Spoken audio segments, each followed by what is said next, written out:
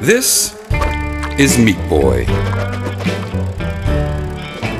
This is Bandage Girl. And this, well, this is Nugget, their little bundle of joy. Oh.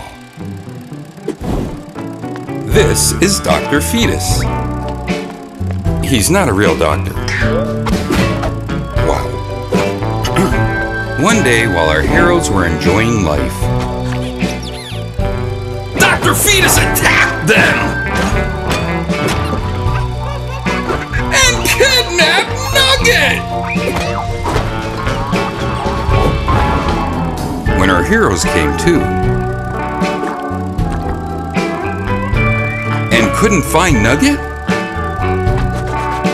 they knew what they had to do.